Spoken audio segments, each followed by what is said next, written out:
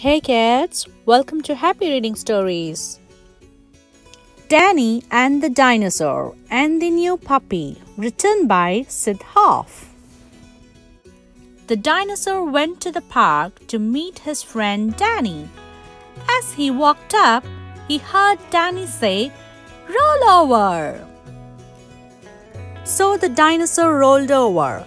Thump! Oops, said Danny. Was talking to my new puppy.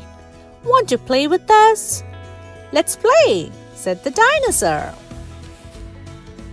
Danny threw a stick. Fetch! The puppy came back with the stick. The dinosaur came back with the tree. Danny said, Sit! The puppy sat. But when the dinosaur sat, crash! He really sat. Oops, said the dinosaur. I'm proud of you both, said Danny. Good dog. He gave the puppy a treat. Good dinosaur, said Danny. He gave the dinosaur lots of treats. The day was hot. They went to the pool to cool off. Splish splash went the puppy. Splish splash went the dinosaur. The friends played at being pirates. The dinosaur was the pirate ship. Eh, Ahoy, mateys! cried Danny. All the kids climbed on board while the puppy stood guard. Time to dry off, said Danny. The puppy shook her fur dry. Shake, shake, shake. But when the dinosaur tried to dry himself, Shake, shake, splush!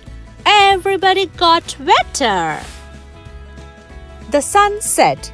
It was getting late. Goodbye, dinosaur, said Danny. I wish you could come home with us. Goodbye, Danny, said the dinosaur. I wish I could come too. The sad dinosaur watched them go. Then the dinosaur trudged back to the museum all by himself. I wish our day didn't have to end, said Danny. But then he smiled. Danny had an idea. What are you doing here? asked the dinosaur. Time for a sleepover, said Danny. The friends played some quiet games and had some snacks. Then they snuggled up to sleep. I love sleepovers, said Danny. How about you? But the dinosaur said nothing. The dinosaur was asleep. The end. Thanks for watching, kids. Happy reading.